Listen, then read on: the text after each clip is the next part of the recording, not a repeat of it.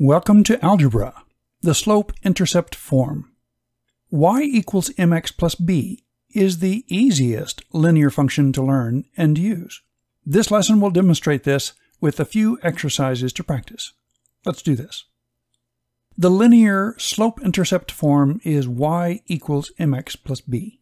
The y and x are the two variables for the equation, and the variables m and b have special meanings m is the slope of the line, and b is the y-intercept, where the line crosses or intercepts the y-axis, the actual point being 0b. In the graph shown here, the first task is to find the point where the line crosses the y-axis. This line crosses at 3, and so the value of b is 3. Now we locate a point along the line where it is easy to identify the point. We'll use the point 2, 4 since the line passes through that point. Counting the rise and the run, we see that the rise is 1 and the run is 2. And so the slope is 1 over 2. m equals 1 over 2. To write the equation, just substitute m and b with the values you just determined, and you have y equals 1 over 2x plus 3. You can see the result in Desmos for further proof. Let's practice on some exercises. Given the equation, identify the slope and y-intercept. For the equation y equals 2 over 3x minus 4, the coefficient of x, the number in front of x, 2 over 3, is the slope, m equals 2 over 3. And the number after the x, minus 4, is b, so b equals negative 4. For the equation y equals negative 1 over 3x plus 2, m is negative 1 over 3, b is 2. For the equation y equals 5x minus 6, m is 5, and b is negative 6. Given these m and b combinations, we write the equation simply by replacing m with the number given. So here, if m is negative 4 and b is 1, the equation is y equals negative 4x plus 1. And you can see the graph in Desmos.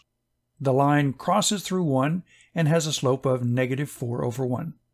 In this next example, m is negative 1 over 2, b is 3, and so the line passes through the point 3 on the y-axis and goes down 1 and over 2 with the slope of negative 1 over 2. y equals negative 1 over 2x plus 3.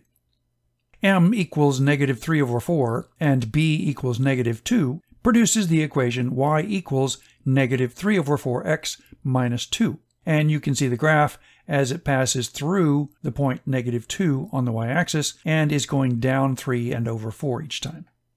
For the slope m equals 2 over 5 and b equals 4 as the y-intercept, the equation is y equals 2 over 5x plus 4. And you can see the graph in Desmos passing through the point 0, 4 and going up 2 and over 5 each time. Here we are to find the slope and y-intercept of the graph then write the equation of the line. So we're given a line that's passing through a couple of points, and if we count between any of the two points, we can see the slope is up 1 and over 1, and so the slope is simply 1, and it passes through negative 2 on the y-axis. So the equation is simply y equals x minus 2. For the second one, it is going down 1 and over 2 each time, passes through 2 on the y-intercept, and so the equation is y equals negative 1 over 2x plus 2. For the slope on this one, it is going up 2 and over 3 each time it goes through a pair of points, and it passes through negative 1 on the y-axis. And so the equation is y equals 2 over 3x minus 1.